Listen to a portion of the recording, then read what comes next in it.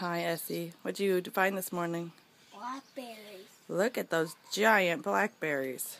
Except this one was from yesterday. Oh, those are the other ones you found this morning. Mm-hmm. Let me see. Whoa.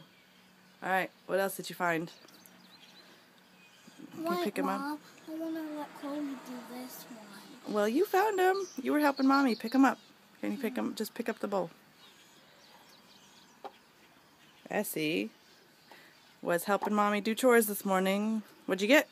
Duck eggs. Duck eggs. We got three eggs this morning, and they're dirty because they keep laying them outside. Well, two were laid inside, and that dirty one was outside. So we're getting how many eggs from the Three or ducks? four. Three or four, and how many ducks do we have? Um, five. Five ducks. So we're getting close. Hopefully they'll all start laying every day. Thank you, Essie. You're welcome, Mom.